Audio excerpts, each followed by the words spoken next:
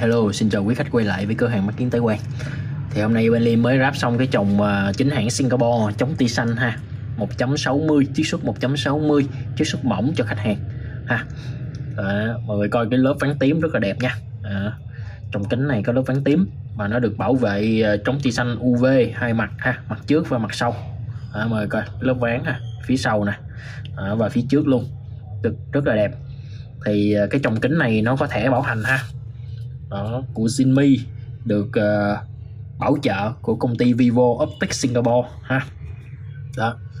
Đây à, đây là cái thẻ bảo hành. À, và đây là cái khăn nha. À, cái chồng kính này nó bao gồm cái khăn và một thẻ bảo hành ha.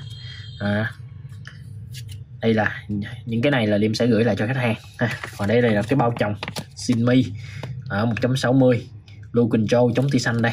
À, được phủ chống chày ha à, chống UV cao cấp à, tới 400 UV 400 đây. À, và chống uh, tia xanh này thì tia xanh nó từ nguồn phát nhiều nhất là máy tính nè máy laptop và điện thoại ha.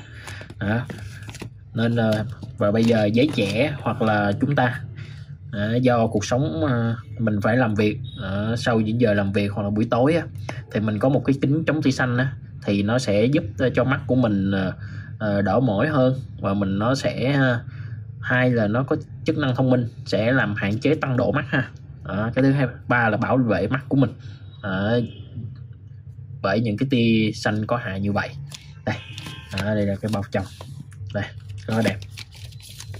Ha.